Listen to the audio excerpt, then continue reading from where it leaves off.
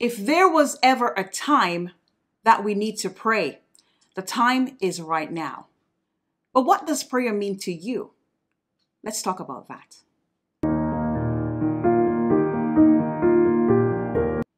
Hi, everyone. Welcome to Manna for Thought. Psalms 91 says that he that dwelleth in the secret place of the Most High shall abide under the shadow of the Almighty. But what is the secret place of the Most High? The secret place of the Most High is prayer. Matthew 6, verse 6, Jesus said, Pray to thy Father which is in secret, and thy Father which seeth in secret shall reward thee openly.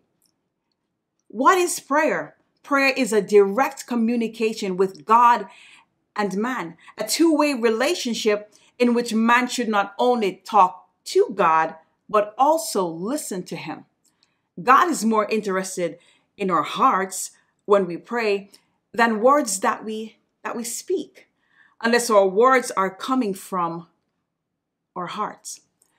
The secret place remember the secret place is a deeper reality where the enemy cannot enter.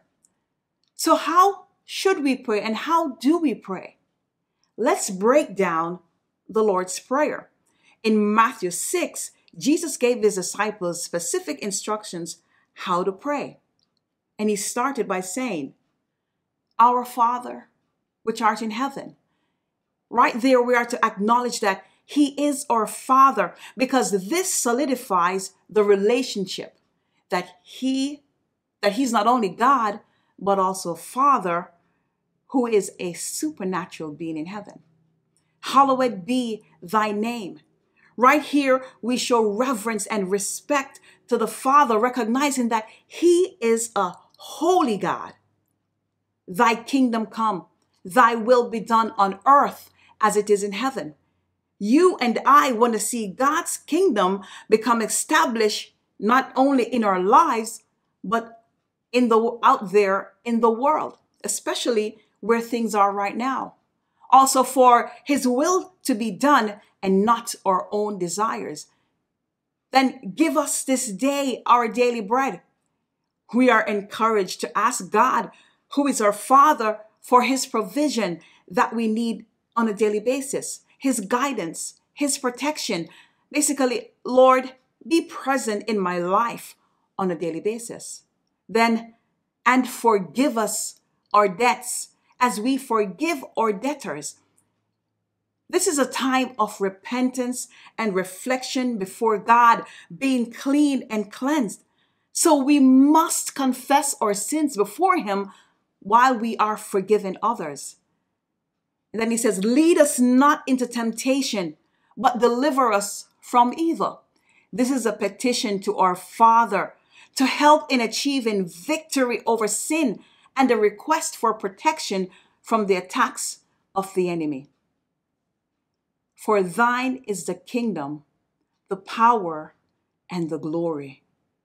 All power, all glory belongs to the Lord, who is our Father and He is our God.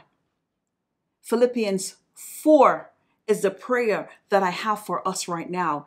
And it says, Be concerned for nothing, be careful for nothing, but in everything by prayer and supplication with thanksgiving, let your request be made unto God, and the peace of God, which passeth all understanding, shall keep your hearts and minds through Christ Jesus. Listen, our world is in a turmoil right now. There are so many uncertainties that are out there.